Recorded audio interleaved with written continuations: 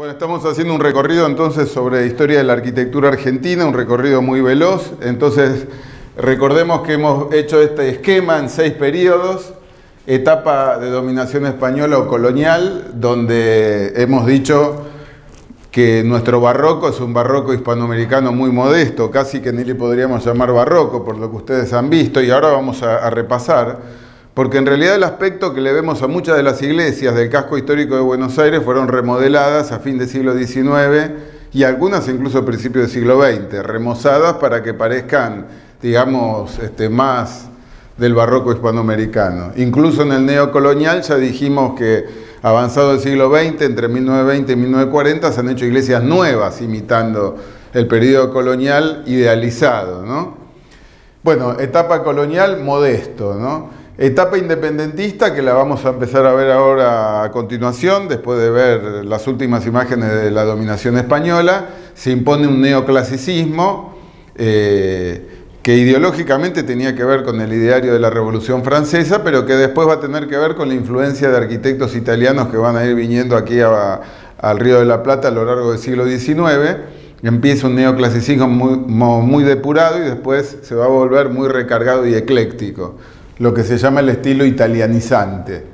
¿no? Luego el periodo fin del siglo XIX, como pasó en la arquitectura civil, un periodo de gran esplendor, que es eh, la etapa de la generación del 80.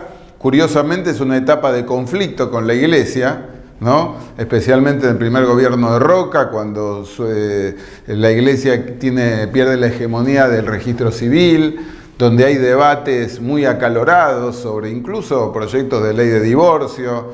Entonces, este, ahí hay una, una grieta importante, pero la arquitectura religiosa va a ir creciendo y va a venir, muy importante va a ser la influencia francesa, donde van a, en la generación del 80 se impone también el neogótico, ¿no? y el neorrománico ecléctico en aquellos arquitectos de origen italiano, el eclecticismo en su máximo esplendor.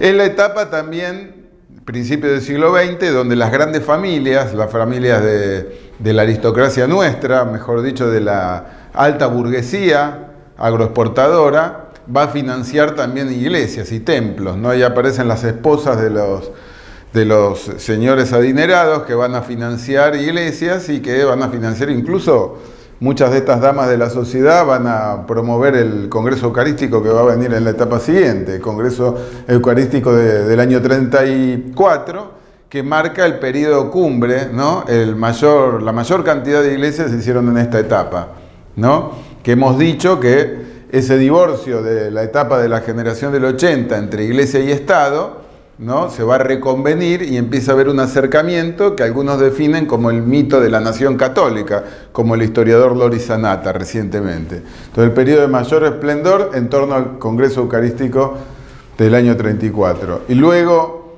eh, segunda mitad del siglo XX, vamos a ver que eh, en torno al Concilio Vaticano II de los años 60, surge la vanguardia, ¿no? la vanguardia arquitectónica, especialmente de la mano de las corrientes eh, orgánicas, ¿no? lo que se llama la tipología de la iglesia tienda, ¿no? que vamos a ver también ejemplos muy importantes en los años 60 y 70.